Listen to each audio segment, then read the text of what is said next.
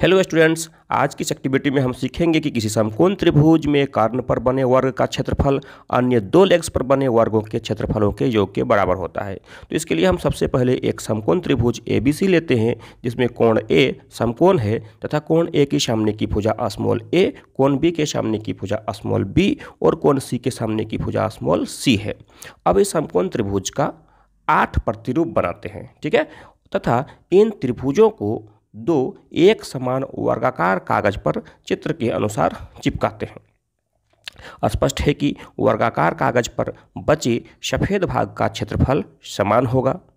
पहले वर्ग के सफ़ेद बचे भाग का क्षेत्रफल ए स्क्वायर है तथा दूसरे वर्ग के सफ़ेद बचे भाग का क्षेत्रफल B square plus C square है।